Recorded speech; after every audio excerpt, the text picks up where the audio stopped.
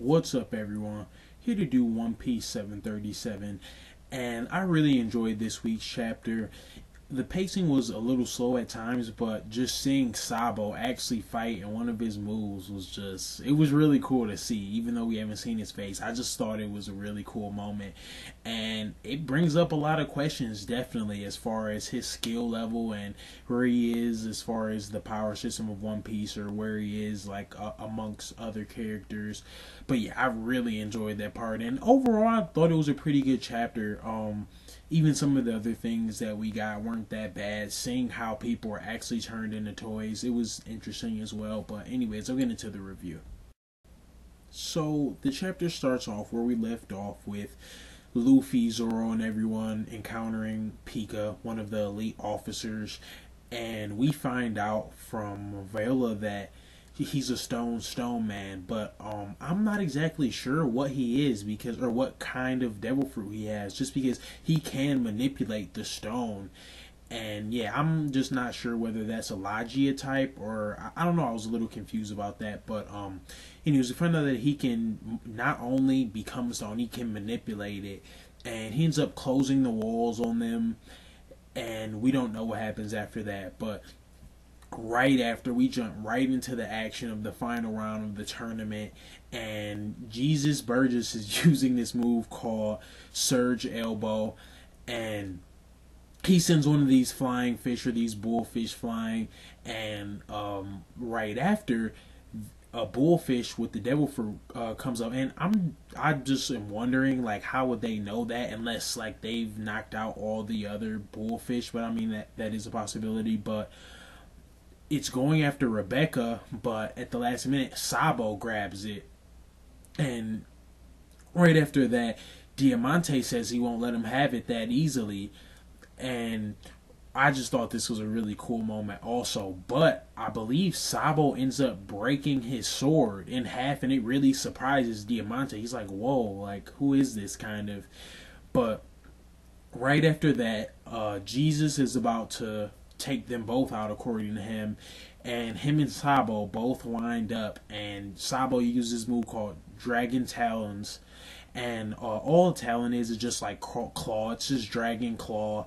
And oh my gosh, he puts Haki. You can clearly see the darkness in his hand, and that he's using hardening Haki.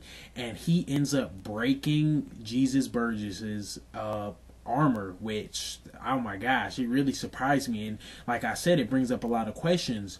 Um, is he stronger than Luffy? Um, if you ask me, in my opinion, so far, even though you can't say too much because we haven't seen Luffy go all out as well, and I feel like Sabo definitely is will do anything not to let people get Ace's Devil Fruit. But anyways, it just raises the question: uh, is he stronger? And uh, like I said, I believe Sabo is stronger than Luffy right now because Jesus Burgess, from what I understand, is like Blackbeard's almost second in command. Like he's one of his, he's always by Blackbeard. Like he's one of his main Nakama, and I just feel like he, if I think he's like the first or second fleet commander, and if you go by how the Whitebeard crew was, uh, first, second, third was definitely depending on strength.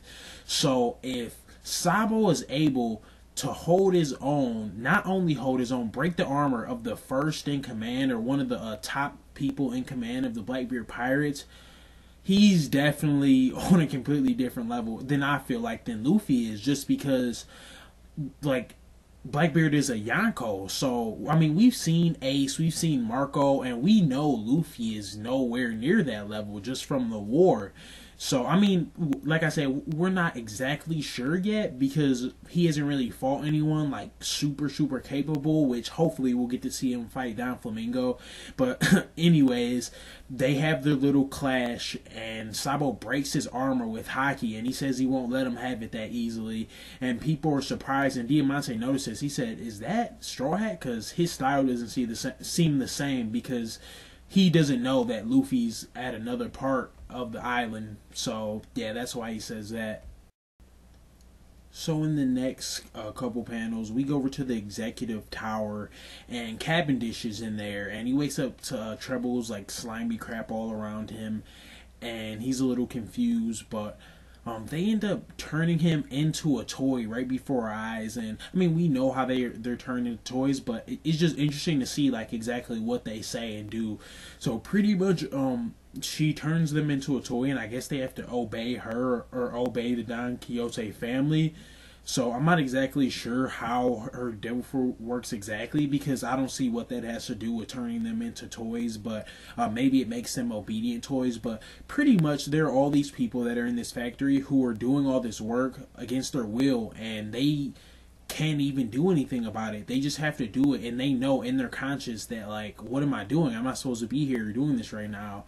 And yeah, I just thought that was really interesting. But right after that, we go over to Usopp and all the little fairies or um not fairies i'm sorry but um they we go over there and they plan on giving sugar a spice instead of uh, her candy and they're gonna make her pass out and that's how the toys were, uh, will go back to life or go back to normal and everybody will be turned back and Doflamingo will be exposed so I'm definitely interested uh, in what's going on with them just because it could be happening very soon, maybe in the next chapter, even. There's going to be a lot of chaos, but yeah, that's all I have. Like I said, this chapter was pretty good. I really enjoyed it. Uh, I moved the story on a lot.